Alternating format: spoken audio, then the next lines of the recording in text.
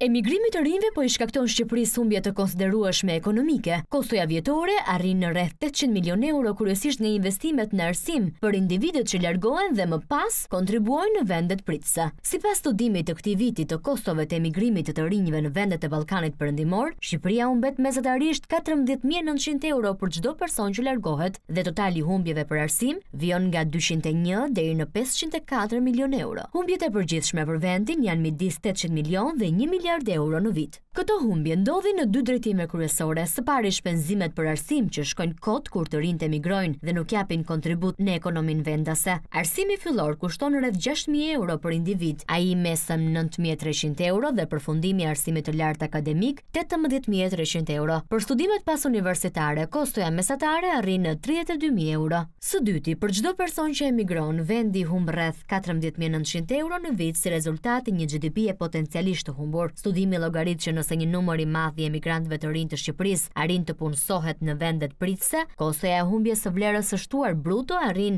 në 559 milionë euro në vit. Megjithse remitancat që vijnë nga jashtë përbëjnë 7% të prodhimit të brendshëm bruto në vend, ato përdoren kryesisht për konsum personal dhe jo për investime që do të ndihmonin zhvillimin afatgjatë të vendit.